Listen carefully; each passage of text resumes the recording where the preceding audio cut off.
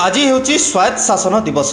ଏହି ଅବସରରେ ଗଞ୍ଜାମ ଜିଲ୍ଲା କବି ସୂର୍ଯ୍ୟନଗର ଏନ୍ଏସି ପକ୍ଷରୁ ସ୍ୱାୟତ୍ତ ଶାସନ ଦିବସ ପାଳନ କରାଯାଇଛି।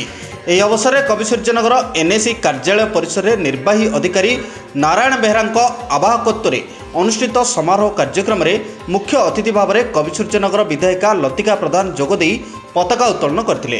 ପୂର୍ବତନ ନଗରପାଳିକା ଲକ୍ଷ୍ମୀପ୍ରିୟା ସାହୁ ପ୍ରାକ୍ତନ ଅଧ୍ୟକ୍ଷ ମନୋରଞ୍ଜନ ମହାପାତ୍ର ବିଜେଡି ନଗର ସଭାପତି ଭଗବାନ ସ୍ୱାଇଁ କାର୍ଯ୍ୟକାରୀ ସଭାପତି ରସଲ ଦାସ ଯୁବନେତା ପ୍ରଶ୍ନ ନାୟକ ମଞ୍ଚାସୀନ ଥିବାବେଳେ ଏନ୍ଏସି କର୍ମଚାରୀ ଭଗବାନ ସାହୁ ବାର୍ଷିକ ବିବରଣୀ ପାଠ କରିଥିଲେ।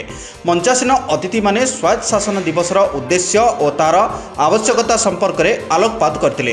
ଏହି ଅବସରରେ ଏନ୍ଏସିର ବିଭିନ୍ନ କ୍ଷେତ୍ରରେ ଉଲ୍ଲେଖନୀୟ ଅବଦାନ ପାଇଁ ବିଭିନ୍ନ କର୍ମଚାରୀମାନଙ୍କୁ ସମ୍ବର୍ଦ୍ଧିତ କରାଯାଇଥିଲା। କିଛି ନୂତନ ହିତାଧିକାରୀଙ୍କୁ ବାର୍ଦ୍ଧକ୍ୟ ଭତ୍ତା ପ୍ରଦାନ ସହ ବାସହୀନମାନଙ୍କୁ ଜମି ମଧ୍ୟ ପ୍ରଦାନ କରାଯାଇଥିଲା।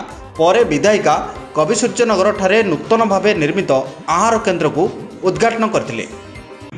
ସ୍ୱାୟତ୍ତ ଶାସନ ଦିବସ ଉପଲକ୍ଷେ ସମସ୍ତ କବି ସୂର୍ଯ୍ୟନଗର ଜନସାଧାରଣଙ୍କୁ ଶୁଭେଚ୍ଛା ଜଣାଉଛି ଏବଂ ଏହି ଉପଲକ୍ଷରେ ଆମେ ଆଜି ଆହାର କେନ୍ଦ୍ରର ଲୋକାର୍ପଣ କରୁଛୁ।